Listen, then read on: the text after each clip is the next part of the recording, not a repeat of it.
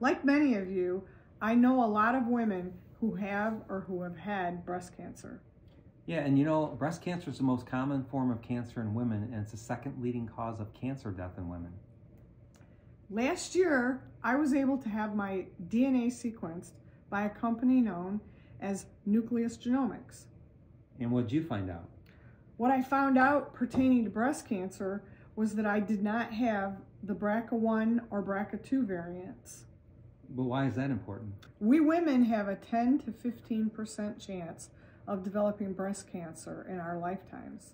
That risk goes up to 65% if you have either of the BRCA variants. So having my DNA tested by Nucleus gave me huge peace of mind that I didn't have either of the two BRCA variants. We women also need to have our routine yearly exams, routine recommended mammograms, and do monthly self breast exams. Did you find out anything else from the test? Yes, I did. I found out I was at low genetic risk for Alzheimer's disease and multiple sclerosis, as well as many other things.